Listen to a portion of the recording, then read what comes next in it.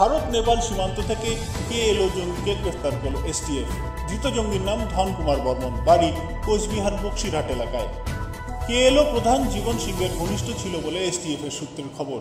কয়েক মাস আগে থেকেই নকশাল বাড়িতে এক কে এলো লিঙ্কম্যান সন্দেহে একজনকে গ্রেফতার করে পুলিশ।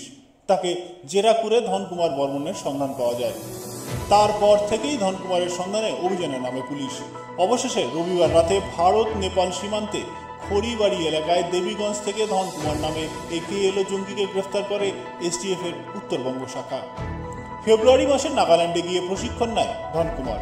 সম্প্রতি নেপালে গা ঢাকা দেওয়ার উদ্দেশ্য ছিল তার। এমনটাই পুলিশের সূত্রের খবর। ধৃতকে চোদ্দ দিনের রিমান্ড চেয়ে সোমবার শিলিগুড়ি আদালতে পেশ করা হয়।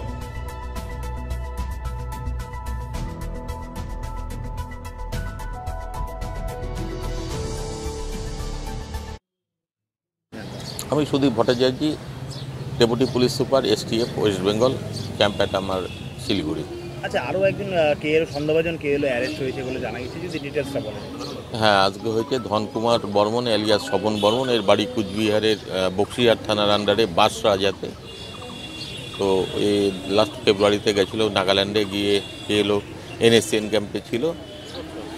তো যাই হোক, ওখানে ট্রেনিং ফ্রেনিং করে এসে আসার পরে, ও জীবন সিংয়ের নির্দেশে নেপালে যাচ্ছিল, গা ঢাকা দেওয়ার জন্য এবং এই এলাকায় কিছু কাজ নূতন রিক্রুটমেন্ট এবং অন্যান্য কিছু সংগঠনের কাজের জন্য ওকে পাঠাচ্ছিল। সেটা আমাদের কাছে গোপন সূত্রে আমরা খবর পেয়ে কালকে সন্ধ্যাবেলা আমরা দেবীগঞ্জে যে ভদ্রপুর বর্ডার আছে, ওখানে ওকে ইন্টারসেপ্ট ওখানে ইন্টারসেপ্ট করি।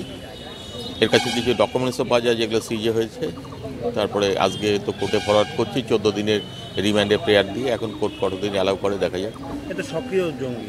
একদম।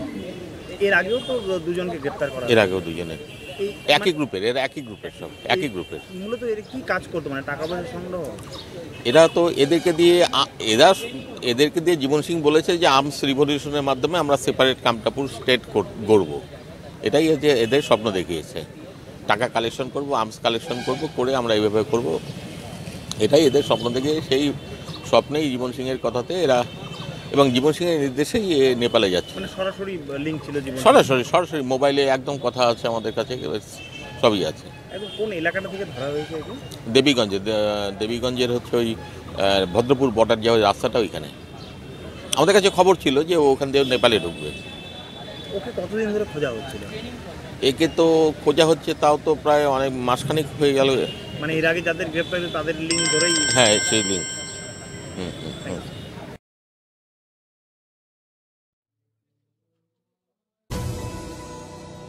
শিলিগুড়ি থেকে নিজস্ব প্রতিনিধির report TV news ten.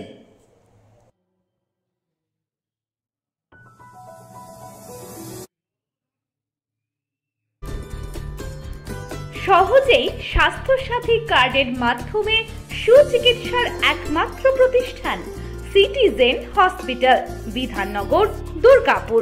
Helpline number নয় আট শূন্য শূন্য আট নয় সাত আট পাঁচ পাঁচ।